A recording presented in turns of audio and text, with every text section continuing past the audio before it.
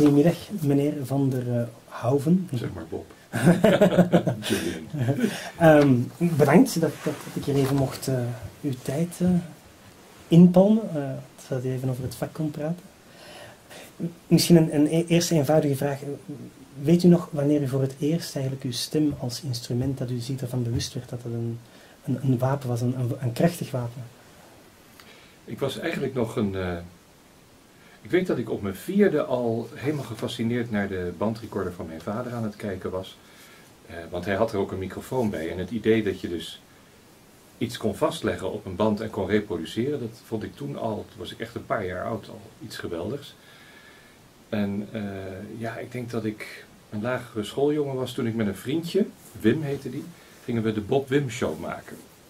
hoe oud was ik toen? Acht, negen jaar. Gingen we een soort radioprogrammaatje maken. En weer later, toen uh, deed ik iets vergelijkbaars, maar weer veel uitgebreider met twee vriendinnen, met Jacqueline en Kobi. De Bojaco Show. En uh, ja, daar, daar, daar, speelden we ook elke rollen. Ik schreef ook hele scripts. Ik was toen een jaar of 12, 13. En uh, ja, dan deden we allerlei persiflages op reclames of maakten een hoorspel over de meest absurde onderwerpen. En, uh, dan draaiden we af en toe een plaatje. Het leek ook wel weer op radio, maar het was ook uh, een soort hoorspel. En ja, ik denk dat ik toen al heel bewust allerlei kleuren aan mijn stem gaf om dan verschillende personages uit te beelden. Als kind dus al. Mm -hmm. Bent u dan de enige van die vrienden die er is in verder gegaan? Of, in mijn vriendenkring zijn er verder geen mensen die uit die tijd die dit opgepakt hebben. Hoewel, een vriendin van mij is een tijd lang actrice geweest. Die heb ik leren kennen op de middelbare school. Kitty heet ze. En ik vroeg haar toen om de presentatrice, de, de interviewer te zijn bij een schooldocumentaire die ik heb gemaakt. En dat heeft ze heel leuk gedaan.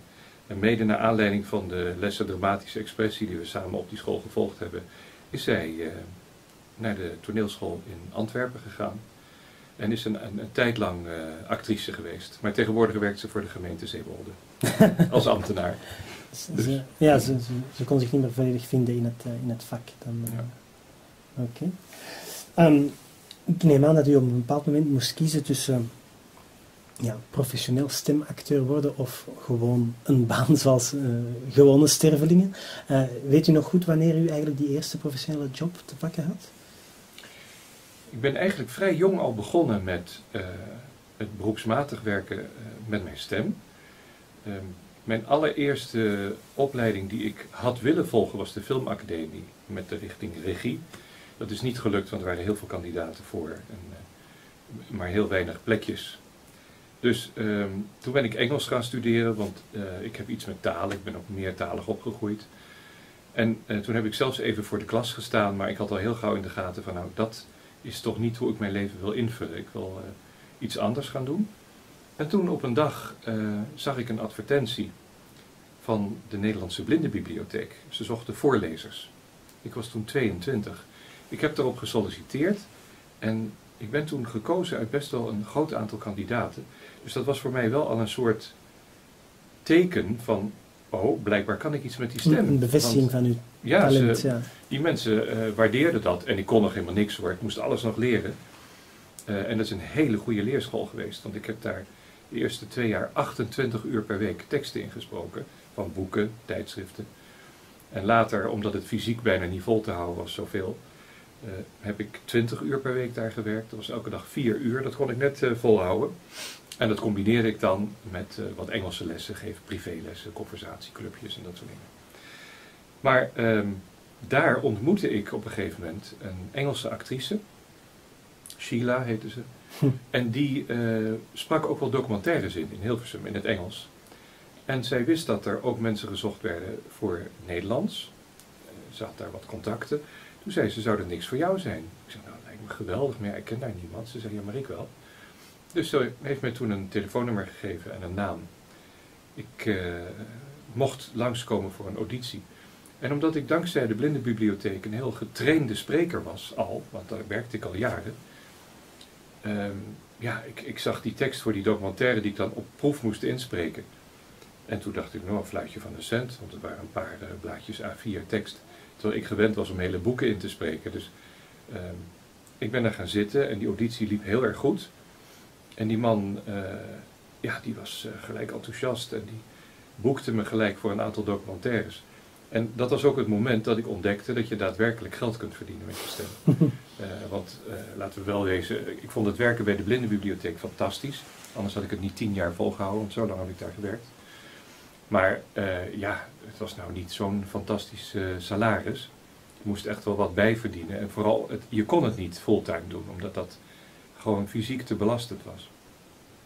Maar toen kreeg ik dus voor het eerst contacten in Hilversum. Ik spreek over de zomer van 1986.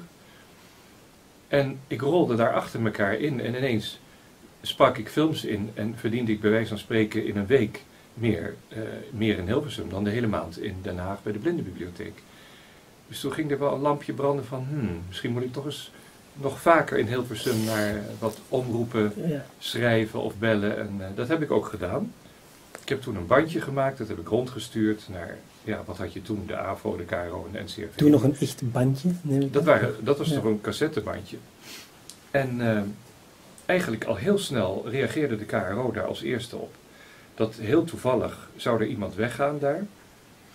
Um, en ze zochten een nieuwe omroeper, heette dat dan. Dus niet een presentator, maar een omroeper, want die had ook mensen die programma's aan en afkondigden en niet heel veel meer dan dat. Dat was wat ze zochten. Dus dat was relatief eenvoudig radiowerk. En uh, ik zat in de eindselectie, uh, want ze hadden naar allerlei bandjes geluisterd. En daar hadden ze er uiteindelijk twaalf van uitgeselecteerd.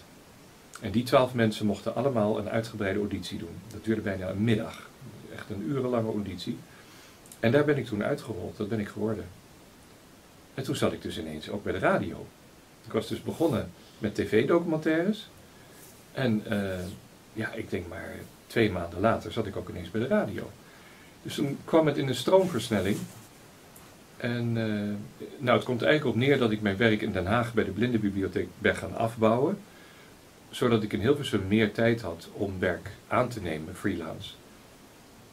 En uh, wat de doorslag gaf om de stap naar Hilversum te maken, toen ben ik dus ook vertrokken uit Den Haag, was dat uh, Nederland 3 begon. Dat was een nieuwe zender in 1988. En uh, ze gingen voor het eerst werken met mensen die niet in beeld waren, dus niet van die mevrouw naast een bloemstukje. Maar ze wilden net als de BBC deed, gewoon een stem achter een logo, die dan zei van, nou, nou komt er dit, met wat uitleg. En ik was natuurlijk immers bij de radio al actief als omroeper, dus ik deed niks anders dan aan en afkondigen. Toen dacht ik, nou op tv kan ik dat ook. Ik solliciteerde en ze hadden vier mensen nodig, twee mannen en twee vrouwen, en daar zat ik dus ook bij. En toen ging die agenda zich in Hilversum dus steeds verder vullen. En kwam eigenlijk toen in 88, 89 het moment dat ik dacht, uh, nu kan ik stoppen in Den Haag. En uh, kunnen we de, de sprong naar het gooi maken. Dat hebben we ook gedaan. We woonden, uh, mijn vriend en ik woonden op een flatje in Leidsendam, dus in de buurt van Den Haag. En toen hebben we ons eerste huis gekocht in Kortenhoef, dat ligt vlakbij Hilversum. Mm -hmm. Ideale plek, want ik kon in zes minuten met de auto kon ik van ons huis naar het Mediapark. En als het lekker weer was op de fiets, dwars door het bos heen, echt prachtig. Uh, en dat is heel fijn als je dicht bij je werk woont natuurlijk. En vooral als dat werk op de meest bizarre tijden plaatsvindt, want bij de KRO uh, werd ik eigenlijk binnen een jaar al, mocht ik gaan presenteren, kreeg ik ook programma's aangeboden. Ook op verschillende zenders. Ik begon bij Radio 1 en 2, maar toen later kwam er ook Radio 5 en Radio 4 bij. En uiteindelijk heb ik het langste gewerkt bij Radio 4. In totaal iets van 5, 26 jaar heb ik daar programma's gepresenteerd. En ja, de meest uiteenlopende dingen met publiek, zonder publiek. Uh, eigenlijk bijna alles live. Ik heb maar een enkel programma wel eens van tevoren opgenomen. En dat live werken, dat vond ik heerlijk. Dan, dan, dan word je gedwongen om scherp te zijn en om gelijk goed te presteren. En dat uh, vond ik heel prettig. Ik merkte dat ik bij opnames altijd een beetje inkakte. Zo van, nou als ik me verspreek, dan uh, kunnen we het overdoen. Ja, en prompt, ging ik me verspreken.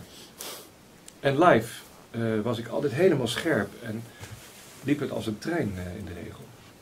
Nou ja, dat omroepen bij tv, dat was dan meestal dus buiten beeld en op de hoogtijdagen in beeld. Dus dat was ook wel een ervaring om ineens voor een camera te zitten. Ja, dat, dat waren toch allemaal hele leuke ervaringen. Het, het werd steeds diverser. En op een gegeven moment ontdekte ik ook de commerciële markt. En de commerciële markt ontdekte mij. Dus toen kwamen er ook ineens eh, verzoeken van bedrijven. Van, oh ja, nou, eh, wilt u niet onze bedrijfspresentatie doen? Of commercials. eh, en ja, radio, commercials, televisie voor de bioscoop. En, en vanaf 88, dat is eigenlijk allemaal zo'n beetje eind jaren 80 is dat ontstaan. Toen zei mijn vriend René, mijn partner, die zei tegen me van, omdat ik altijd gek deed met mijn stem, allemaal rare geluiden en stemmetjes maken. Eh, dat deed ik vanaf eh, mijn kindertijd al. Toen zei hij, daar moet je nou ook eens wat mee gaan doen. En toen zei ik, ja, wie zit daar nou op te wachten op eh, een volwassen man die rare geluiden maakt? Nou, zegt hij, je hebt toch van die tekenfilms en poppenfilms? Misschien kan er wel wat. Toen dacht ik, ja. Nou, toen heb ik op een regenachtige zondagmiddag een bandje gemaakt. Daar gaan we weer een bandje, een cassette. Met wel twintig verschillende stemmen erop. Ik had allemaal teksten gemaakt en ik liet iedereen met elkaar praten en ik was gewoon iedereen. Eh, dat bandje heb ik gestuurd naar een studio. Ik had iemand die ik kende van de Blindenbibliotheek, die ook stemacteur was, Cas van Iersel. Die had ik gevraagd van hoe doe je dat dan en eh, waar, zit dat? Nou, hij zegt, dan moet je gewoon een bandje sturen naar, dat heette toen Metasound. In Hilversum zat het toen Metasound. nog, was toen nog in Hilversum. Heel vaak gezien op de aftiteling. Ja. Megasound. En dan eh, en naar Arnold Gelderman, dat is de man. Dat heb ik gedaan. En Arnold Gelderman die eh, belde op een gegeven moment van, eh, ja, je hebt veel verschillende kleuren in je stem, vind ik leuk. Eh, ik wil daar eens iets mee proberen. Nou, tegenwoordig als je geen toneelschool hebt, is het ondenkbaar dat er überhaupt interesse in je getoond wordt. Maar in die tijd was het toch allemaal een beetje anders. En toen werd ik uitgenodigd door Arnold om eh, mee te werken aan Walt Disney's World on Ice. Er moest een soundtrack gemaakt worden bij een ijsshow. En omdat daar heel veel rollen in zaten, dacht Arnold, nou, dus, dan kan ik die jongen, de, de, nieuwkomer, eens uitproberen. Maar ik kwam daar in de studio en dat was echt ontzettend intimiderend, omdat al die mensen op dezelfde dag werden opgenomen. Dus daar zaten hele bekende Nederlandse acteurs en actrices, die zaten daar allemaal in een ruimte waar ook de opnamen waren. Naar elkaar te kijken en te luisteren. En daar was ik ineens, vanuit het niets. En ik dacht, oh, die heb ik in de film gezien. Oh, die ken ik van de tv-serie. Oh. Eh, Mhm. Dus ik, eh, ja, ik voelde me erg klein worden. En die auditie, of ja, auditie, eh, want eigenlijk werd er gewoon meteen opgenomen, ging aanvankelijk ook helemaal niet goed.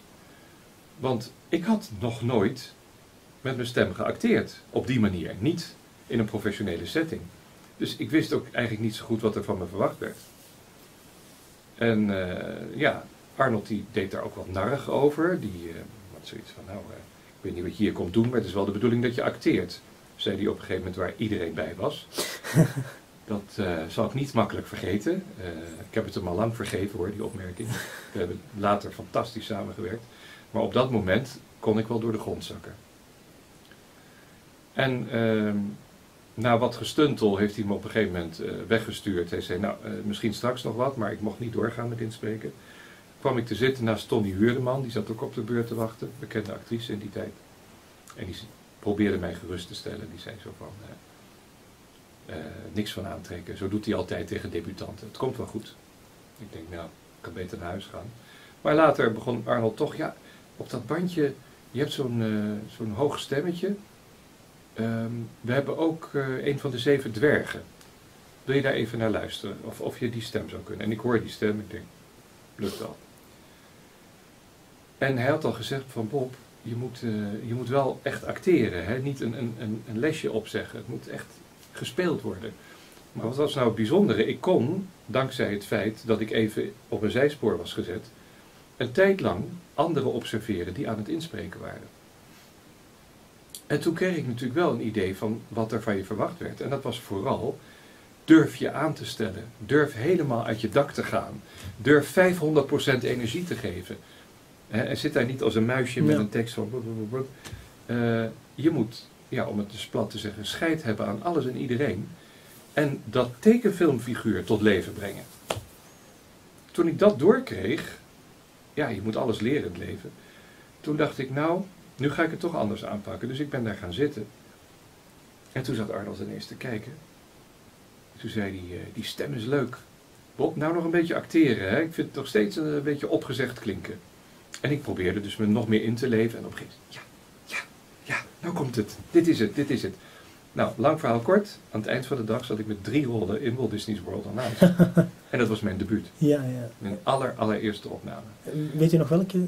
Drie rollen dan? Dus één van de dwergen zijn? Eén van de dwergen ben ik geweest. Vraag me niet meer welke. Ja, en dan nog twee wat gewonere mannen die dan ook een klein rolletje hadden. Het waren, het waren relatief kleine rollen. Maar we zijn wel later naar de Ahoy-hal gegaan in Rotterdam. En ja, daar hoorde ik op een gegeven moment wel mijn stem uit die enorme speakers komen. Dat was zoiets bijzonders om mee te maken. En eigenlijk heel kort na Walt Disney's World on Ice belde Arnold weer. We hebben een nieuwe serie uit Amerika binnengekregen, die heet DuckTales. En eh, ja, jij kunt zo hoog met je stem. Hij zegt dat stemmetje op dat bandje, als je dat hoge stemmetje nou eens wat meer zou kunnen laten kwaken, dan zou het best wel eens geschikt kunnen zijn voor Kwik, Kwek en Kwak. Want die hebben een belangrijke rol in DuckTales. Het waren eigenlijk de avonturen van oom Dagobert en Ja. Kwik, Kwek en Kwak. Met dan nog een aantal andere figuren natuurlijk eromheen. Dus ik naar oude Disney filmpjes kijken en eh, ja, van alles eh, proberen. En eh, eigenlijk zonder dat ik ook maar een, minuut van DuckTales had gezien. Ik wist dus ook helemaal niet hoe het origineel klonk. Ik had alleen maar een beetje naar oude Donald Duck filmpjes gekeken. Had ik gewoon een geluid gemaakt waarvan ik dacht, goh, dit klinkt wel kwakerig. En hoog, want ja, Kwik en Kwak zijn drie jongetjes van negen of tien jaar oud hè, ongeveer. En ik heb die auditie gedaan en ik heb werkelijk Arnold letterlijk onder de tafel zien wegzakken. Zo ontzettend moest hij lachen om wat ik deed. Hij vond het zo grappig. En hij riep ook gelijk, ik stop met zoeken, je hebt de rol. En toen wist ik nog niet eens wat het precies behelste. Ja, ja, ja. En toen kwam ik er dus achter dat het een hoofdrol was in een honderddelige serie. Nou ja, eh, een, een, een betere droomstart als stemacteur kun je niet hebben natuurlijk. Mhm. Dat, eh, ja, dat is puur geluk geweest dat dat zo gelopen is. Ik ben op precies het goede moment bij de juiste mensen gaan aankloppen. Ja. En dan ineens gebeurt het. Ik weet, niet, ik weet niet of u zich van bewust bent, maar voor mijn generatie, die dus inderdaad ook is opgegroeid met DuckTales, en wij vinden dat ook nog altijd heel goed, Ehm, bent u zich ervan bewust dat, als, als ik bijvoorbeeld het Donald Duck Weekblad lees, dan hoor ik uw stem als ik de neefjes iets zie zeggen. Dus dat is onuitwisbaar, zit je met de stem van Bob van der Houven, je leest, ja, het is natuurlijk, u, hebt, bent er, hoe lang dat ge- al geleden? Eh, u hebt dan eigenlijk die 100 afleveringen vrij snel na elkaar opgenomen. Dus u, Nou, daar hebben we drie jaar over gedaan. dus u hebt eigenlijk al sinds 1990 niet meer echt actief... Sinds s- 91 ja, nooit met neefjes bent u nooit meer geweest. En toch, we zijn nu 2017, eh, het weekblad of het, of het maandblad van Donald Duck, dat mijn vader en ik nog steeds graag lezen. Dat is altijd uw stem die in mijn... maar mijn vader zal dat niet zo zijn. Ik zou dus moeten vragen wat hij leest, want hij is niet zo vertrouwd met DuckTales. Ja, weet je, ehm, de mensen die ermee opgegroeid zijn, zoals jij, eh, dus de, de, de, de, de begin dertigers, Ja, die, eh, die hebben dat inderdaad, precies dit wat jij zegt. En ja, die, ik, laatst nog eh, was er een zender, even denken welke dat ook alweer was, Radio 10 belde, of ik geïnterviewd wilde worden als eh Kwikwek en Kwak. als ja, Maar ja, die man die dat presenteert, die is van jouw leeftijd, misschien ietsje ouder, ja. is daarmee opgegroeid. En die vindt het dan heel erg grappig om dat een keer in zijn show. Ja, ja, Te zeker, hebben, zoiets. zeker, zeker. En die heeft mij, ik moet zeggen, dat, dat vond ik best wel pittig. Eh, ze zouden om, eh, om kwart voor acht 's ochtends bellen. ik heb mijn wekker op half acht gezet, want ik ben al lang slaper. Ehm, en het, het rare was, dus ik was echt wel oh, oh, oh, bed. En ik ga even vlak voordat ik gebeld werd, even kijken of het er nog zat. Ja. En ik dacht, ja hoor, hij zit er nog. en ik heb gewoon dat hele gesprek met die stem gedaan. Geweldig, Ja. ja. Ja, inderdaad, het is niet, niet evident dat u het zomaar nog kan oplopen. Nee, ik wil bij wijze van spreken, mijn eigen stem was nog een beetje zo'n ochtendstem. Maar de neefjes, die waren er gewoon. Ze wonen in mij. Ja, dit- ja, ik hoop ook dat u, natuurlijk, stel dat u echt een heel bejaarde man wordt, is het misschien wordt het moeilijker, hè, want dan, dan zakt de stem ook eh automatisch. Nou ja, weet je, in Amerika zijn er rollen. eh, er is een stemacteur, dan, Joop van der Beuken zou ik direct de naam weten, want die heeft een enorme paratenkennis, dat Mhm. heb ik helemaal niet. Maar ik weet dat daar een man was, die, die was al 90 en toen ging hij nog een stem inspreken. Ja, ja. Met succes, hij kon het nog steeds. Ah, wacht. eh, ja, ik weet niet of het dat is, maar ze hebben van DuckTales gesproken. Ze hebben, dus ik weet niet of u ooit op de hoogte bent geweest dat er ook een videogame was van DuckTales. Eh, Ja. een, een zeer goed game trouwens, dus dat is dan ook nog prettig. Eh, dat uiteraard hebben ze je stem toen niet gebruikt, want in die tijd had je nog geen, ehm, nou, nog niet eens de mogelijkheden om stem te hebben in games. Maar ze hebben dus amper twee of drie jaar geleden hebben ze een remake gemaakt van datzelfde game, ook voor de nostalgische generatie als de mijne. En dan hebben ze dus zowaar de originele acteurs van de Amerikaanse serie terug kunnen strikken, weliswaar, Ja, wellicht Dus met neefjes. Maar dus, ja, de neefjes ook. Maar dus die acteur van Dagobert, van, de, heer Van der Made, is al eh, vele jaren gestorven. ja. Maar dus Alan Young heette hij. Ja. was dus Scrooge McDuck. En die was dus op dat moment 96. En hij, En hij kon het het nog steeds. Hij is vorig jaar gestorven, dus op zijn 98 dan. Maar wat een ongelooflijke weelde eigenlijk als, als fan de carrière dat je kan zeggen, oh, en op mijn 96 heb ik ook nog even terug Dagobert mogen spelen. Nou, in Amerika gaat men over het algemeen heel erg respectvol om Ja. met stemacteurs. Denk ik ook. En ja. proberen ze zo lang mogelijk dezelfde acteur op een rol Mhm. te houden. Eh, en dat is een van de dingen waar ik kritiek op heb in eh, de Nederlandse nasynchronisatiewereld. En wat ook wel ja, zijdelings genoemd wordt in eh, de documentaire Sync, die ik samen met Joop van der Beuk heb gemaakt. Dat er soms iets te makkelijk met castings omgesprongen wordt. En eh, iets te gemakzuchtig eigenlijk. Eh, dat is niet altijd zo, het wordt soms ook heel zorgvuldig gedaan. Maar ehm, ik hoor een beetje te vaak dezelfde mensen. Mhm. Dat ik denk, nou, kan je daar nou niet eens wat op variëren? Er zijn meer stemacteurs die dat heel goed kunnen. En Ja. dan heb ik wel eens het gevoel dat men degene aanspreekt die dan net door de gang loopt of zo. Oh, jij ook nog. Ah, ja. eh, oh, kun jij misschien die er ook nog even bij ja, doen? Dat- ja, ja. Maar ik vind het wel jammer dat ze soms te weinig respect hebben voor dan bijvoorbeeld de continuïteit. Hè? Zoals bijvoorbeeld... Nou, dat is ook een van de dingen. Ja. Dat, eh, ik, ik- mijn, mijn motto is altijd: de enige goede reden om een stemacteur te vervangen ja, eh, is als die dood is. Of eh, als de stem eh, hoorbaar verandert. Dus Ja, dat iemand zo oud is dat hij ja. gewoon die, bijvoorbeeld die hoogte niet meer Klopt, haalt. Of klopt. die diepte niet meer haalt. Ja, dan moet je naar een, een, een vervanger gaan ja, zoeken. Maar ehm, ja, het is, het is berucht dat juist bij de buitenlandse versies meermaals stemmen vervangen zijn. En soms ook op verzoek van Disney zelf. Mij verbaast dat, ik snap dat niet. Het is ook met DuckTales gebeurd. Eh, ik heb me daar hooglijk over verbaasd. Ik heb de hele serie DuckTales gedaan, 100 afleveringen. En toen kwam als laatste voor de bioscoop DuckTales The Movie. Ja, goede film.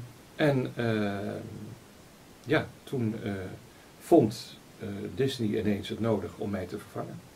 En je hebt nooit een, een echte uitleg gekregen waarom. Er werd ge- geargumenteerd dat ehm, overal ter wereld werden de rollen van de neefjes gedaan door actrices, behalve in Nederland. Mhm. En dat moest in Nederland ook gebeuren. En het leek niet genoeg op het origineel. En dan denk ik, nou, dat had je ook honderd afleveringen geleden kunnen zeggen. Ja, En dan had je gelijk een definitieve keus kunnen maken. Maar het was natuurlijk heel raar dat kinderen die jarenlang al naar DuckTales op tv keken, mhm. vervolgens naar de bioscoop gingen om daar eh, een film te zien waarbij alle acteurs uit de serie te horen waren, behalve eh, de neefjes. heel raar. Dat werd ineens door iemand anders gedaan, op een manier die dan iets meer leek op het origineel. Maar ja, voor kinderen, Nee. die zeggen op zo'n moment van, voor mij zijn dat niet de echte neefjes. Nee, inderdaad. Dus, eh, en dit is niet alleen met mij gebeurd, maar met zoveel mensen. Ik bedoel, de rol van Goofy, nou die is ook al drie of vier keer vervangen. Mickey Mouse is al een paar keer vervangen. Ja. Ehm, kijk, er komt nu een nieuwe DuckTales aan. Ja, dat, het me al voor. Dat was ook een Ja. vraag. Maar inderdaad, er komt er niet Ehm, DuckTales. ik verwacht niet dat ik gevraagd word voor de neefjes. En de reden is eh, dat men toch nu uit een heel ander... eh, het concept is heel anders. Het is wel... eh, je ziet aan alles dat het voortkomt uit de oorspronkelijke DuckTales, maar de hele tekenfilmstijl is veranderd. Mhm. Wel erg leuk, moet ik zeggen. Het is heel mooi gemaakt. Maar men heeft er in Amerika voor gekozen om de drie neefjes in te laten spreken door drie jonge acteurs. Dat is wel heel uitzonderlijk, want ja, die stemtimbre verandert nog wel. Ja, maar ja, het klinkt als jonge mannen van 19, 20 jaar. En ik vind het wel een aparte keus, omdat de neefjes in mijn optiek kinderen zijn. En nu laten ze door mensen doen die, nou het zijn volwassen mannen, maar ze kunnen klinken als een puber. Een beetje hè, een jong geluid opzetten. Ja, ja. Maar dan denk ik, Kwik, Kwik en Kwak zijn geen pubers, het zijn kinderen. Maar ze zien er wel ook wat ouder uit in de nieuwe, zoals ze nu getekend worden. Dus misschien dat ze toch een suggestie willen wekken van ze zijn een paar jaar ouder. Ja. En ze hebben diepere stemmen. Maar dat hele kwaken, eh, zoals Rusty Taylor dat deed, en zoals ik Maar mijn Rusty Taylor? deed. Ja. Ja, van de dat Simpsons heel bekend, hè? Ja, Rusty Ja. Taylor. Ja, dat, dat is er helemaal af. Ja, Dus eh, men heeft in Amerika voor iets anders gekozen. En daar zal automatisch ook in Nederland een andere keuze uitkomen. Want dan denk ik, verwacht ik dat ze drie jonge stemacteurs Mhm, mhm. van rond de 20 jaar of zo, dat ze die daarvoor gaan vragen. Hoe, hoe komt het eigenlijk dat u, al, dat u toch nog zo goed op de, eh, op de hoogte bent van bijvoorbeeld ik zelf als DuckTales fan heb enkel nog maar boven een trailer gezien, maar u bent al blijkbaar, u heeft al wat inside informatie over die nieuwe reeks kunnen... kunnen Ja, nee, toch niet, eh, niet meer dan wat in de media te Ah, vinden toch? is. Ik weet, weet niet meer. Ik, ik kijk er wel met veel interesse naar natuurlijk, omdat ik die geschiedenis heb. En omdat ik eh, die documentaire met Joop heb gemaakt, ja. Zink. Daardoor kijken wij toch met iets meer interesse naar dit soort onderwerpen. Ik, ik moet zeggen dat ik wel heel verbaasd was dat ze DuckTales, eh, ook wel blij, maar, maar ik denk dat het de eerste keer is dat een, dat een tekenfilmreeks die ten eerste zo oud al is, in verhouding dan, ja, bijna 30 oud, jaar. dat ze dat een, een remake geven, dat is echt ongezien. Hè? Want dan, eh, het zijn een aantal van die iconische Disney-reeksen uit de jaren 80. Je had ook nog Knabbel en Babbel, hij heeft Chippendale, Rescue Rangers. Ja. En je hebt dan een, een, ja, je hebt heel veel- je had dan een reeks van Aladdin eh, spin-offs van de Kleine Zeemeermin. Goof Troop, ook een, een zeer goede reeks. Maar je had zo echt zo die, tussen laten we zeggen 87, 94 had je fantastische, de ene na de andere kwaliteitsreeks. En dat daar dan nu een remake van komt voor een wellicht generatie die misschien nooit de originele DuckTales heeft gezien, dat is wel uitzonderlijk. Ik, vraag me ook af. Ja, Ik, ik ben vooral heel benieuwd, gaan ze misschien echt zich richten op de nostalgie zien, namelijk dus de dertigers? Gaan ze echt een beetje fanservice doen voor die kijkers? Of gaan ze echt volledig nieuw, een nieuwe weg? ik denk dat het volledig nieuw is Ja. wat ze kiezen. En dat ze hopen dat eh, de mensen die het vroeger hebben gezien, de originele DuckTales, eh, daardoor wel geïnteresseerd Ja. zijn. Dat ze het leuk zullen vinden om het te zien. Want er zijn ook overeenkomsten natuurlijk. Bepaalde figuren komen weer terug. Maar wel eh, uiterlijk in een iets andere vorm. Ehm, ja, als ze echt de, de mensen hadden willen bedienen die om nostalgische redenen naar kijken, die hadden dan eigenlijk natuurlijk gewoon een vervolg willen zien Mhm. op wat er al was. Klopt. In dezelfde tekenfilmstijl met zoveel mogelijk dezelfde stemmen. En eh, ik moet zeggen, ik heb de, de originele Scrooge McDuck gehoord. Vind ik erg goed. Is hem goed? Ik, ik, ik weet nog niet. Ja, dat hij dus helaas nu Ja, het is een wat, is. wat ja, jonger geluid dan Alan Young, Ja, maar het is eh, eh, zeer- echt een Schots accent heeft hij. En dat moet Ah, hij ja. hebben, maar dat is een Schot. Ja, ja. Ik denk wat, wat uw grote verdienste ook wel is als, als stemacteur, is dat u dus echt wel hè, the man of a thousand voices, zou je in het Engels zeggen. Dus u kan van alle registers aan. Maar iemand als dan hè, eh, onze Dagobert, hè, want voor, voor mij zal het altijd Sacco van der Made blijven. Ja. Die man kon eigenlijk enkel zichzelf spelen, Sacco van Ja. der Made. Ja. En ik herinner me goed, zijn allerlaatste wapenfeit was in, in een Baantje-aflevering. Baantje was ook heel populair in België.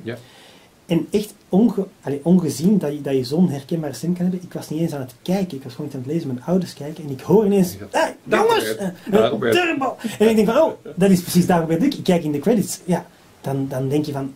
Dat je zo kan vereenzelvigd zijn met een stem is ook goed. Maar ik denk dat je het ook wel een beetje kan beperken als acteur. En u Hm. zal nooit... Dat, ik, Ik, denk dat u op u, u zal ook zelden als zichzelf gevraagd worden, u zal veel eerder als een personage gevraagd worden. Ja, want u, als we kijken naar uw bekendste rollen voor het gewone publiek, hè, is dat dus enerzijds Stitch, dan de neefjes en dan heb je nog ehm Dr. E.T. Dovenschmidt, en, en dan van ja, Phineas en Ferb. Ja, maar eigenlijk nooit als Bob van der Houven.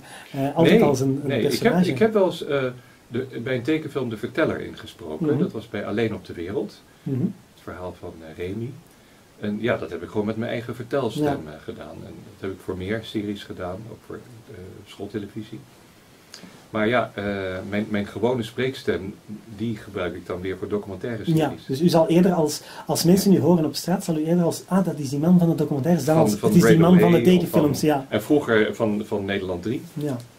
en de andere dingen die ik gedaan heb. Ar- Arnold Gelderman vertelde mij bijvoorbeeld dat hij ooit in- op, op het gemeentehuis kwam waar hij woont en, en een blinde dame achter het loket die hem zei van ehm, ja meneer Gelderman, gaat u maar naar rechts? En hij zegt van maar hoe weet u wie ik ben? Ik, eh, u kan mij niet zien. Ja, maar u bent toch Scar in The Lion King? Dus deze anekdote vertelt hij in Sync. Is waar? Ah, oké, geweldig. Eh, Ja, dat is natuurlijk een van zijn eh, beroemde ja, ik vind dingen. het wel heel ja, ik, eh, ik heb zelf ook de raarste dingen. Ik was op Schiphol en ik ging op reis. Ik ging naar mijn familie in Italië. En ik loop daar naar Bali en er staat daar een donkere jongen van hooguit 18, 19 jaar. En ik zeg alleen maar, ehm, heb jij vier penlight batterijen voor mij? Bent u de stem van Railway? ik zeg, als dat zo is, dan heb jij een absoluut gehoor. Dat is echt niet te geloven. Ja, Dat je ja, ja. in vier woorden een stem herkent. Ja, ja, ja. En je hebt van die mensen hè, die heel eh, snel dat oppikken. En ja, hij was een fan van Railway. Hij keek daar altijd naar. Eh, ik bel naar een restaurant. Ik, door de telefoon, notabene. Ik zeg, ja, goedenavond. En ik wil graag morgenavond een tafeltje voor drie personen. Bent u die man die altijd op tv over treinen praat? Stoort het u ooit of niet? Bent u, je hebt bepaalde, laten we zeggen, publieke figuren die soms graag die knop afzetten van uh, bekendheid. Bent u er ooit? Ik heb er nog nooit uh, iets vervelends door ondervonden, omdat... Uh, ja, ik denk dat het misschien lastiger wordt als je van je gezicht bekend wordt. Mm -hmm. Dat begint onderhand ook te ontstaan door de vele interviews. Excuses daarvoor. Dat, maar dat levert eigenlijk ook alleen maar hele leuke ontmoetingen op. Ik was twee weken geleden in Eindhoven. En ik ging zitten in een restaurant aan een tafeltje. En nog geen halve minuut later staat er een jongen naast me tafeltje. En die zei, uh, ja, mag ik even wat zeggen? Ik heb de hele middag Phineas en Ferb liedjes gezongen. en u bent toch dokter Dovenschmiert? En hoe wist hij dat nou? Op het internet kun je natuurlijk van alles vinden. Ook bijvoorbeeld een opname dat ik Dovenschmiert aan het inspreken en inzingen ben. Dat had hij gezien. Ja, ja, ja. En daar herkende hij me van. Maar dus vooralsnog is het, vindt u het niet storend dat mensen nu beleefd aanklampen op straat? Of nee, het is ook uh, in tegendeel eigenlijk. Ik vind het heel erg leuk omdat uh, het zijn altijd aardige reacties. Uh, want ze gaan me niet aanklampen om te zeggen, wat heb je dat slecht gedaan? dat doen ze niet. Dat is een waardeloze pik en pak in die film. En dan zeg je, maar ik was het niet. Nee, dan zeggen ze het niet, of weet ik wat ja. ze denken. Maar um, het is ook het moment, je werkt altijd maar in studio's. Daar heb je geen publiek. Je weet niet of mensen het leuk vinden wat je doet, daar ben je niet bij. En dat zijn de momenten dat mensen je komen vertellen dat het iets voor ze te betekenen heeft gehad. Uh, ik had een keer um, een kennis van me te eten en die had zijn broer meegebracht, want die broer wilde mij zo graag zien, omdat hij zo'n fan was van DuckTales. Ik zei, nou breng maar mee. en we zitten aan tafel gewoon te eten met elkaar. En op een gegeven moment zegt hij, ik durf bijna niet te vragen, maar zou je die stemmen nog even willen ja, ja, ja, ja. Ik zeg, dat is goed, maar dan moet je je ogen dicht doen, want je moet mij niet zien. Ja, klopt. Je moet teruggaan naar dat programma en naar die neefjes. Mm -hmm. En ik begin dus tegen hem te praten met die stemmen. De tranen rolden over zijn wangen. En die man was in de dertig. Ja. Die zei, je weet niet wat dat voor mij betekent. Hij zegt, ik ben helemaal terug in mijn jeugd. En nu maak ik dat live mee. En hij was helemaal ontroerd. Dat is toch mooi dat je dat Zulke kan. dingen maak je ja. mee. Dat, dat, u dat kan door gewoon een beetje Ik zeg, praten. nou ja, ik wilde je niet aan het huilen maken. Maar uh, ja, uh, dat was bedoeld om mensen te amuseren. maar uh, de impact, het, het wordt gekoppeld aan, net, dus net als met muziek... Het wordt gekoppeld aan herinneringen en dat kan van alles zijn natuurlijk. En ja, je, je gaat deel uitmaken van een collectief geheugen. Mm -hmm. En dat vind ik heel fascinerend. Ook, vind ik ook een soort ja, mooie gedachte van, nou ja, uh, op een gegeven moment ben je er niet meer. Maar dan staan er nog honderdduizenden dvd's van ja, The ja, Way in de kast. Stemmen, uh, er staan ja. heel veel films van, nou ja, Lilo en Stitch en al die dingen. En al die, ja, dat is een, een, mooie gedachte dat je als het ware een beetje nog leeft voort door uw Ja, ik heb wel eens ja, gehad dat ja, ik een overleden collega dan weer terug hoorde. En toen dacht ik, ja, hij, hij weet wat leuk dat dat zo is. Mm -hmm. dat, uh, ja. Het, ja, het, het, het voort he, door, doorheen de tijden. Dat het dan toch... Ja, uh, ja, ja. ja. Dus um, een vraag die ik ook aan meneer Gelderman stelde en, en dat me ook altijd intrigeerde. Um, in 1995 zijn, is Disney voor de allereerste keer begonnen met Vlaamse versies van. Dus, de, Ja. dus Toy Story was de allereerste Vlaams. Nu, ik was toen al 11 en ik, ja, ik keek vanaf denk ik mijn 9 of mijn 8 altijd naar de Engelse versie. Maar dus natuurlijk mensen die iets jonger zijn, zoals bijvoorbeeld Eva, zullen nog een tijd lang Vlaamse versies dan hebben gezien, geen Nederlandse. Herinnert u zich naar dat moment dat, dat, dat, eigenlijk, dat, je, dat je die splitsing kreeg tussen, ja, enerzijds, want wij hadden vroeger, ik, heel veel oudere Disney-films ken ik enkel in een Hollandse, Nederlandse Ja. dub. En ik heb dus nooit, die, zelfs nooit de behoefte gehad om een Vlaamse versie aan te kijken. Ik vind ook nog altijd, als ik dan iets wil kijken, is voor mij Het Beest of uh, Ariel zijn voor mij Hollandse mensen. Die behoren Ja, Hollands die- te spreken. Dat en vind ik ook, Vlaams. inderdaad. Ja. Gelukkig hebben ze wel, ze hebben nooit die, want ze hadden ook nog kunnen overdrijven, ze zijn nooit oude films gaan herdubben. Hadden ze ook nog kunnen doen. Had ook nog gekund. Eh, ja. ik zeg maar iets dat ze bijvoorbeeld nu Bell Beast opnieuw op DVD, in het, dat hebben ze gelukkig nooit gedaan. Dus we horen nog altijd Arnold en... Maar wat grappig om te horen dat jij als eh Vlaming Mhm. eh, eigenlijk een voorkeur hebt voor de Ja, Nederlandse absoluut, absoluut. Ja. Ik, eh, ik weet niet hoe het komt, maar ik vind ook, ehm, toch zeker aan die oude films, je merkte dat metier van meneer Gelderman ook, dat hij koos voor goede stemmen en niet voor bekende stemmen. Nee. En in Vlaanderen hebben ze die gruwelijke, gruwelijk, en je zal het ook wel beamen wellicht in Nederland, maar die voorkeur voor BV's, en dat noemen wij dan bekende Vlamingen. Bekende Vlamingen. Uh, zo heb je bijvoorbeeld Cars hè, van, van Disney Pixar, waarin dan Urbanus meedoet. Nu, alle respect voor Urbanus, ook heel bekend in Nederland, goede man. Groot artiest. Groot artiest, maar dat is geen stemacteur. Die heeft zelfs een vrij irritante stem, ook zonder disrespect, maar dat is een man met een vrij schelle stem die ook altijd precies zichzelf overstuurt. dan denk ik van, en, en als je dan kijkt naar Robin Hood, Robin Hood, een van mijn absolute favorieten, vind ik fantastisch. Uh, en gek genoeg, meneer Gelderman was er geen fan van. Die vond dat, heeft hij niet zelf geregisseerd, was van Harry Gelen. En hij vond dat hij daar toen niet, hij was er Robin Hood zelf in, hij heeft dat nooit echt gedaan zoals hij het wilde. Mm. Wellicht ook perfectionistisch.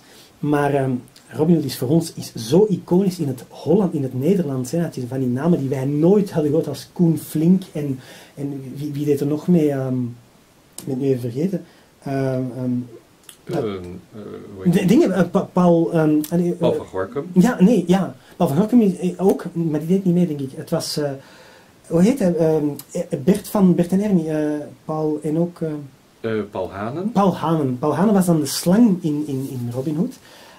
dat zijn voor ons echt ook weer die iconische stemmen. Ja. En ik denk dat, dat dat zal je met bekende mensen, want dan hoor je altijd, ah ja, het is Urbanus, ah ja, het is die zanger of die Ja, acteur. wij hebben in onze documentaire Stink Ehm, echt een aantal minuten uitgetrokken om dit onderwerp goed te bespreken. Daarbij ook ruimte gelaten voor mensen die voor het inzetten van bij ons dan bekende Nederlanders zijn. Um, en uh, ja, er zitten wat kanten aan het verhaal. Um, de reden is natuurlijk duidelijk waarom men uh, daarvoor kiest. Omdat dat, ja, ja. die bekendheid die genereert vaak wat, wat media-aandacht die mensen die van hun naam niet bekend zijn, niet krijgen. Dat is belangrijk om mensen naar die film te lokken of de kijkcijfers op te, te stuwen. Maar het moet natuurlijk niet ten koste gaan van de artistieke kwaliteit van de film. Als je iemand alleen maar vraagt omdat hij bekend is, je moet mensen vragen om wat ze kunnen. En Arnold heeft heel bewust altijd mensen puur gekozen op kwaliteit. En ja, hij zei ook wel eens van de bekende Nederlanders vroeger, dat waren eigenlijk allemaal acteurs. Dat waren de bekende Nederlanders. dus dan had je gewoon de mogelijkheid om te kiezen uit bekende acteurs. Maar tegenwoordig uh, ja, worden er soms wonderlijke keuzes gemaakt. Ik zou maar zeggen, dan uh, komt er in een tekenfilm een kapper voor en dan kiest men een bekende kapper. Die natuurlijk nog nooit een microfoon van dichtbij heeft gezien. Uh, ik hoorde op een gegeven moment dat voor een uh, weliswaar klein rolletje een hele bekende voetballer was gevraagd. En toen heb ik gezegd, nou weet je wat, zet mij dan in het veld, dan krijg je hetzelfde resultaat. Ja, tuurlijk. Dat kan niks worden. Dat. Ja. En um, ja, het verhaal heeft meerdere kanten. Het, het, het levert vaak ergernis op van uh, gerenommeerde, echte stemacteurs. Um, die soms grote rollen doen in films. En dan op de poster staan alleen, en dat zijn dan vaak bijrollen, namen van bekende Nederlanders. Mm ik heb het zelf ook een beetje meegemaakt toen DuckTales van start ging. Sacco van Armada en ik hadden natuurlijk de hoofdrollen in DuckTales. Maar de eerste afleveringen stond ik niet op de titelrol. Tot mijn grote verbazing. En wel mensen die bijrollen deden, maar dat waren bekende acteurs. Toen heb ik gebeld van, jullie zijn mij vergeten op de titelrol. nee hoor, dat is een keus geweest. Oh. We hebben ervoor gekozen om alleen bekende namen erop te zetten. Toen werd ik een beetje boos. Toen zei ik, luister nou eens. Hoe denk jij dat die mensen ooit bekend geworden zijn? Toch niet door ze niet te vermelden op een titelrol. ja. Waarom wordt iemand bekend? Omdat hij de erkenning krijgt voor wat hij gedaan heeft. Daarom wordt hij bekend. En uh, toen vonden ze dat ik toch wel een punt had. Dus ik geloof dat ik vanaf aflevering 6 stond ik dan wel op de titelrol. Maar je moet er soms nog voor vechten ook. Dat is raar hè? Terwijl ik dan ook denk... het is, ik vind een vreemde, kromme manier van denken. terwijl ik denk, ik, ik kan me zelfs niet voorstellen dat je als, stel nu dat je kinderen hebt en je gaat naar dus een Vlaams gedupte Disney tekenfilm kijken. Ik zou me nooit laten leiden door, oh, want kijk, die bekende man doet mee. Ik zou denken, ik wil gewoon een goed product zien. En dat kind ja.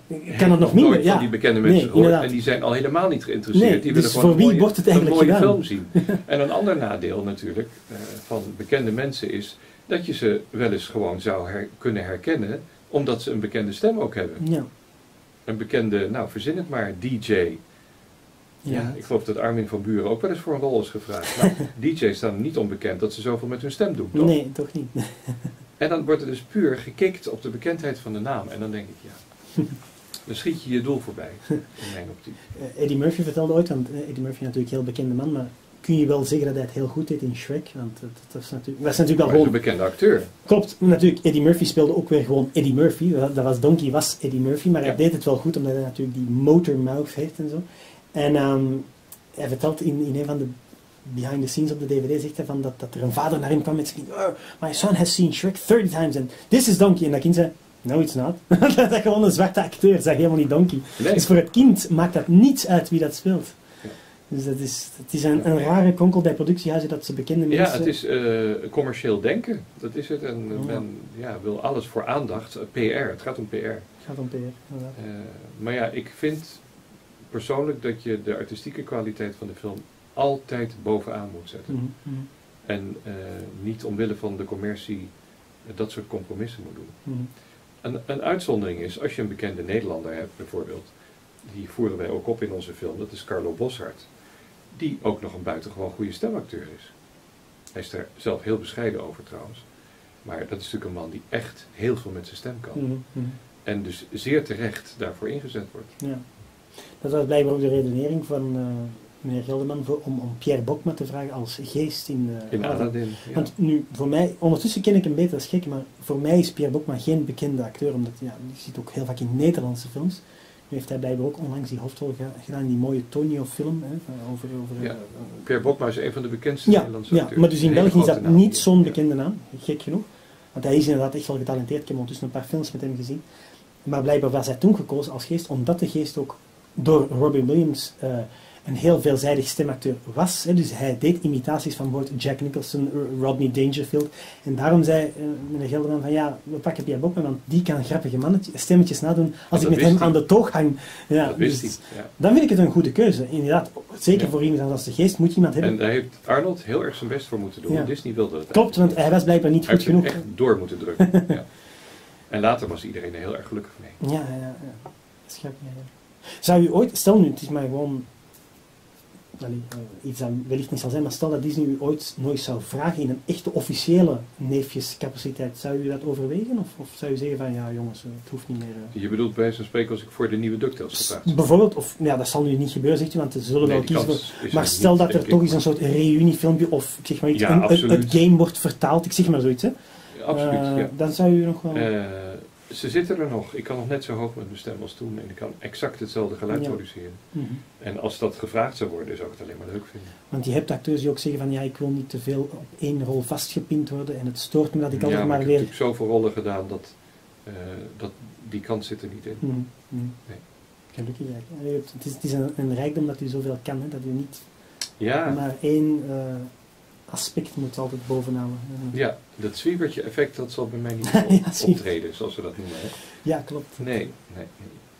Ja, je ziet dat in België ook. Mensen die gewoon maar één ding kunnen en dan nadien gewoon verbrand zijn. Hè. Zo zeggen wij het, hè, verbrand door één rol. Ja, En, eh, dat is, eh, dat is zonde. en, dan, en dan vind je gewoon geen werk meer, omdat mensen je zo vereenzelvigen met die rol. Ja. Ja, het is vermoeiend natuurlijk, maar... Ja, nee, dat is gelukkig eh, niet gebeurd. En daardoor ja, word ik voor van alles gevraagd, nog steeds. Ehm, wat is eigenlijk uw mening over dat dubben van die niet-kinderfilms? Zoals we dat helaas ook soms... Ik heb nu net echt gisteren nog gehoord, ik was ook een beetje verbaasd, de nieuwe Beauty and the Beast, Belle and Beast, dus door, door Disney heeft hè, een echte mensenversie, wordt blijkbaar ook in het Vlaams gedubt. Dus eh, dat betekent ook dat we heel snel zullen moeten zijn, want die Engelse films verdwijnen dan soms al na twee weken uit de zalen, omdat ze dan gewoon zeggen van ja, mensen gaan wel in het Vlaams kijken, met de kinderen, hè, het is een kinderfilm. Hm. Vind je dat ook niet een beetje vreemd dat je een film die toch, laten we zeggen, voornamelijk door volwassenen zal gezien worden, want een kind van vijf hoeft niet per se naar een mensenversie van Bel en Beest te gaan kijken. Waarom, waarom maken ze daar ook iets? Nou, waar ik voor ben, ehm, is dat mensen keuzemogelijkheden hebben. En het is, ehm, denk ik, een goed ding, en dat geldt dus ook voor ja, meer volwassen programma's, eh, als daar budget voor is, om die ook na te synchroniseren. En zeker met de opkomst van de video-on-demand platforms kun je vaak ook de tale-versie aankiezen, hè, met de afstandsbediening. Mhm, mhm, En dan kun je dus gewoon zelf bepalen van ik wil bellen en het beest in het Engels zien of ik wil het in het Vlaams zien mhm. of in het Nederlands. Dat is het fijnste. Er zijn eh, ook volwassenen die eh, moeite hebben met ondertiteling. Klopt, Die ja. dat niet goed kunnen lezen, omdat eh, hun gezichtsvermogen achteruit is gegaan.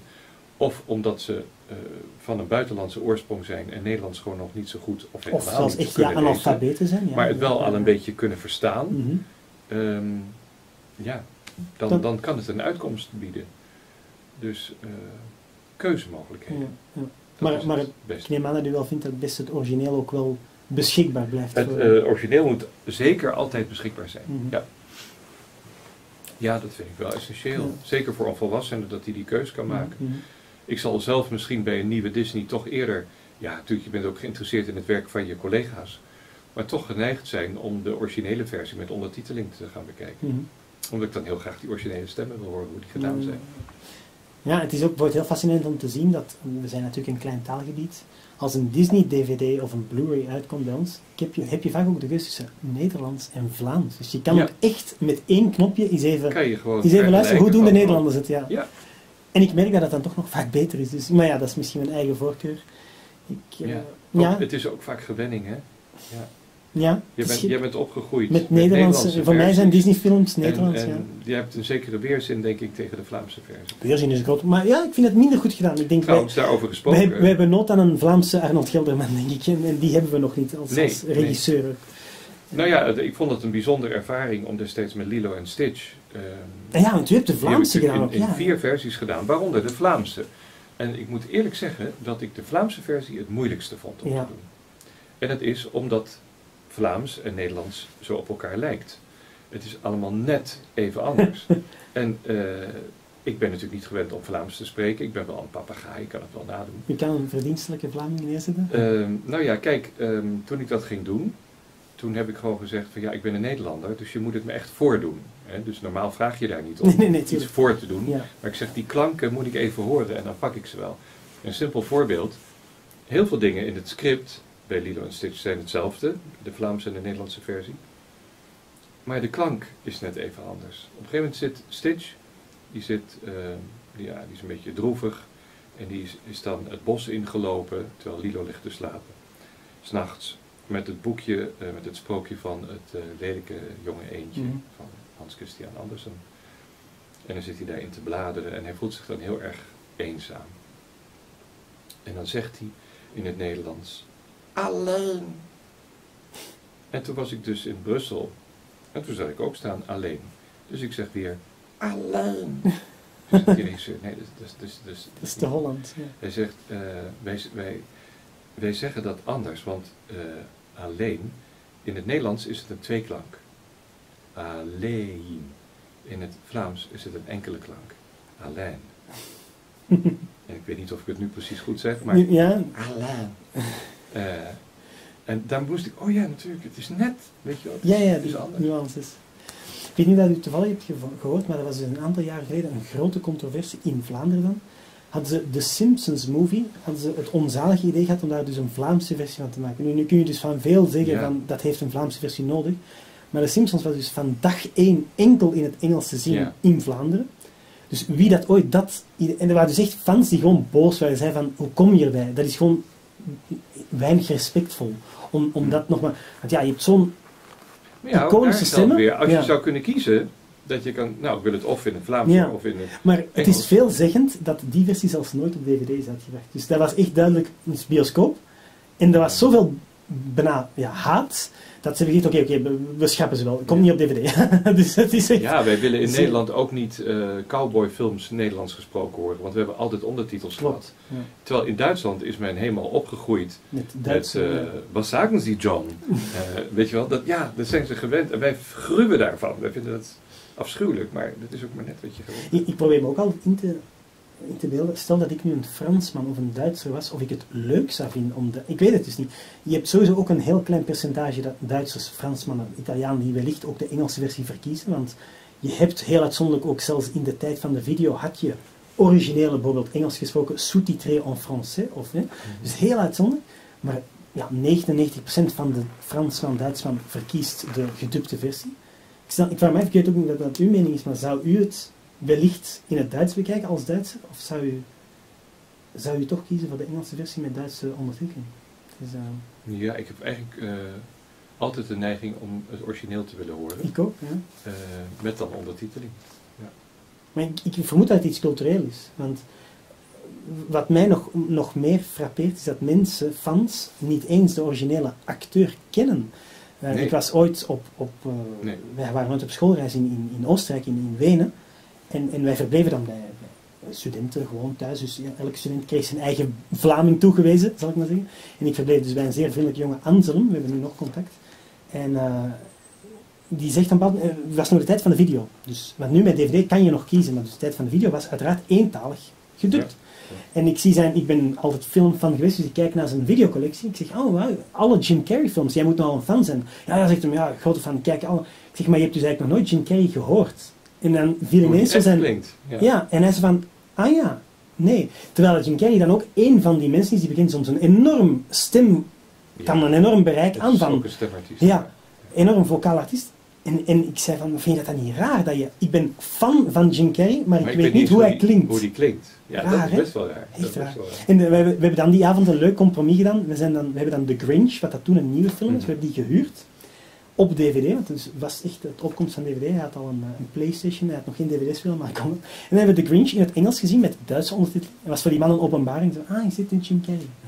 Zo klinkt het. Dus, eh, want een stem is toch een integraal onderdeel van een performance. Als, Ja, als, ja. als u speelt als acteur dan, wat minder zal gebeuren, maar u zal ook wel af en toe eens spelen met u. Ik heb ook live-action dingen ingesproken. Dan- Maar die waren wel dan op een jong publiek gericht. Ja. Op uh, pubers. Ja, dat, Ja. dat- het, het blijft toch vreemd dat je... Dat je Het live-action is lastig, omdat eh, je merkt veel eerder dat het nageceremoniseerd Mhm. is. Bij tekenfilm kun je... met die stem, ja, met die monden, hè? Ja, klopt. Ja. Ja. is, Maar ja, het wordt wel door een bepaald publiek eh, heel erg gewaardeerd als het er is. Die versies. Mhm. Ja, maar ik ben, ik, en, en zoals gezegd, ik ben akkoord voor kinderen en zeker mensen die ook bijvoorbeeld eh, inderdaad slechtziend zijn of, of effectief niet kunnen lezen, want die zijn er ook. Ook gewone Belgen en Nederlanders die niet kunnen lezen. Het moet, het moet kunnen, zeker. Ik ben, ben geen purist in dat opzicht. Maar ik vind het vreemd dat je het zou, als je een bewuste keuze maakt als volwassen man en je kan gewoon lezen, dat je dan gaat zeggen van, wauw, geef mij toch maar die, eh, die Nederlandse versie. Ja, Maar, het, ja. het maar ja, daarom denk ik, eh, keuzevrijheid, dat is natuurlijk het mooiste wat je kunt hebben. Mhm. Daar ben ik erg voor. We waren gisteren toevallig nog Richie Rich aan het bekijken. Ik weet niet of je die film ooit hebt gezien. Dat is een- Richie Rich, dat is een film uit de jaren 90 met eh, Macaulay Culkin, toen nog als kindacteur. Zijn laatste kindacteurfilm. En uh, uiteraard in het Engels. En ik zei toen tegen Eva, ik zeg, ja, die is ooit ook in het Nederlands op video verschenen. Maar ook dat hebben ze dan blijkbaar toch liever willen vergeten, want op de DVD was er nergens nog een spoor van Nederlands te vinden. Dus het was Oh. enkel Italiaans, Duits en dan Engels. Dus, uh, Dat hangt ervan af, want uh, uh, heel vaak zijn er meerdere eh, DVD-versies. Klopt. Ja. En dan meestal met drie, vier talen Klopt. Ja. erop. Dus ja, soms dan is het de Scandinavische talen Nederlands en soms is het ja. Frans, Duits, Nederlands. Dus ja, ik, ik, er ik, ik, heb toevallig vorige week nog in de, in de kringloopwinkel twee Poolse Disney-films gevonden. Ik dacht eerst dat het misschien valse, uh, maar het waren echte Poolse DVD's. Uh, en daar stond dan gelukkig ook uh, Engels op, uiteraard geen Nederlands. Maar ja, ik dacht, oh ja, voor een euro. En ik had ze nog Pools niet. en Russisch of zo? Ja, ja, ja effectief. Veel. Slavische talen. Maar Ja. het is wel heel interessant. Ik vind dat heel leuk om altijd zo eens te kijken. Wat hebben ze erop gezet? En dan soms ook maken ze heel rare keuzes. Ja. Ik, heb, ik herinner me ook dat ik Harry Potter in, het, in Engeland kocht. En daar stond zelfs Vlaams en Nederlands op als gedupte taal. Dus dan dacht ik van, amai, wat een weelde. Dat, dat ze dat op een... Maar dan film 2, 3 en 4 had zelfs geen Nederlandse ondertiteling. En dan film 5 had terug Vlaams en Nederlands gesproken. Dus het complete waanzin. Als je daar een verzamelaar bent, dan heb je zo van die kabbelende, Heel, kabbelende heel lezers. apart. Ja, Ja. heel leuk. Ja, Harry Potter, daar heb ik natuurlijk eh, Dobby in gedaan. Ja, was ik nog vergeten. Dat is de eigenlijk... tweede film en de zevende film. Ja, ja Dobby, uh, ja, mijn vriendin is een grote Harry Potter fan. Maar ze heeft hem ook in het Engels gezien, dus ja, in dat opzicht bent u niet. Um, ik weet niet of je ooit die controversie hebt gehoord, dat uh, Poetin vond dat hij op Dobby leek en hij was heel beledigd. Uh, ja, ja Poetin zei ik, van, snap, zijn... ik snap dat men... Ja, als je een karikatuur van Poetin maakt, dan krijg je misschien Dobby. Maar hij, vond, hij dacht dat het een westerse streek was om, om zijn macht uh, onderuit te halen, omdat het zo'n ja, een slaafje is, hè, Dobby. Onze dus. premier destijds, uh, Balkenende, werd altijd met Harry Potter vergeleken. Klopt, Die ook zo'n brilletje daar had. leek hij ook echt wel op. Hij leek een klein beetje, maar ja. ja. Terwijl ik dan denk, het is geen belediging. Harry Potter, geliefd door miljoenen kinderen. Dus Ja. dat niet elke premier kan zeggen dat hij geliefd is door miljoenen mensen. Dus, uh, um, misschien um, nog een laatste afsluitende vraag. Uh, als u vandaag als stemacteur terugkijkt op uw vak, is dubben nog even relevant als vroeger? Want heel veel kinderen spreken steeds vroeger Engels, ook met die tablets en zo. Ze, ze, ze zien Engels vanaf hun 2, 3 jaar. Ziet u nog een, hoe ziet u het vak zelf evolueren naar in de komende jaren? Het, eh, het het, duwen, wordt, het synchroniseren. het wordt steeds belangrijker, het wordt steeds groter. Vertel me over hoe, hoe, hoe, hoezo? Nou ja, er is steeds meer, eh, er wordt steeds meer nagesynchroniseerd. Dus het is een, een, er is nu veel meer werk voor stemacteurs dan vroeger. Ehm, en eh, ja, dankzij de technologische mogelijkheden, eh, wat ik al zei bij VOD-platforms en zo, ehm, komt er meer keuzemogelijkheid voor mensen. Om een taal te kiezen van, nou, ik wil dat graag in mijn eigen taal horen of juist niet.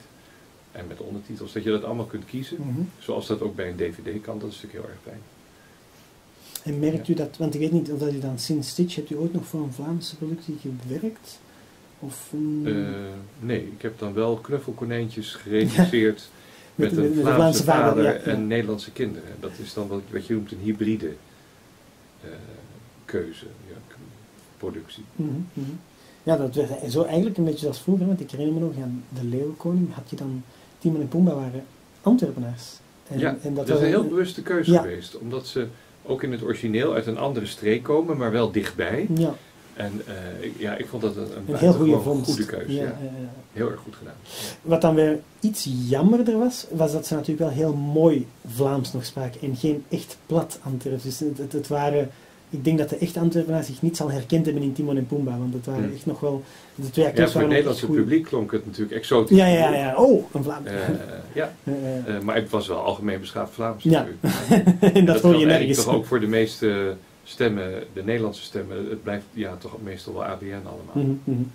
Moet natuurlijk, omdat je natuurlijk het hele land moet bedienen. Ja. En, en, en een Dus echt, Amsterdammer... echte ja. Brabantse stemmen of nadrukkelijk eh, Groningse stemmen of Limburgse stemmen, dat hoor je niet gauw. Ja, omdat het, ja, het is Wat ook misschien wel jammer is Het eigenlijk. is ook soms echt moeilijk, want ik weet dat bijvoorbeeld, ik weet niet of hij bij, on- bij u nog bekend is, want hij woont ondertussen al 40 jaar in België, maar eh, Johan Boskamp is een voetbalcommentator. Hmm. En die man, dat is echt heel fascinerend, die woont dus echt 40 jaar, maar die is dus oorspronkelijk van het platte Rotterdams.